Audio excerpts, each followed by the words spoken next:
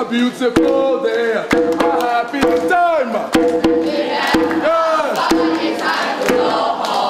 来自美国大学生利用非洲鼓来带动教唱歌的气氛，所教的歌是英文歌曲，学生一边唱一边学舞蹈，重点是教学过程，全程使用英语来对话。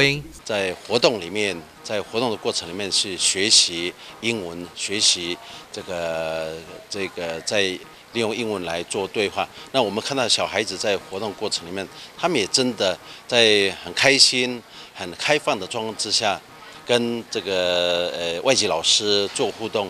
You can give those plastic bottles to me here. We recycle bottles into clothes that can help people. 哇，好 awesome！这位伫美国嘛是领有教师证的老师，用英语指导学生练习台词甲表演，排练话剧。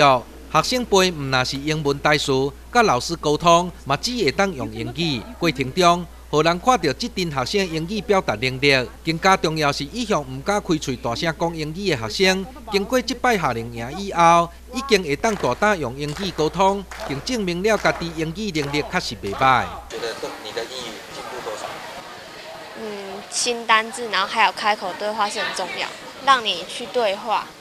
因为在课堂上，你只直接跟老师讲中文就好，完全没有练习到英文的对话，都是念课文而已，都没有练习到就是一些交谈啊，一般日常生活中会用到的话。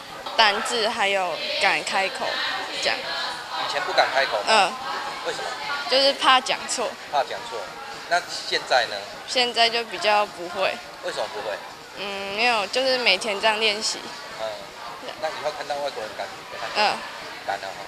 为期一礼拜英语夏令营，咱伫邀请到美国乔治亚州大学生前来指导。学校表示，完全生活化英语教学，互学生学到真侪课堂上学袂到的物件。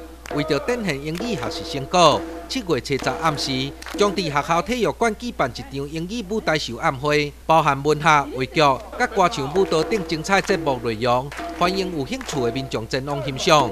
记者王昭成采访报道。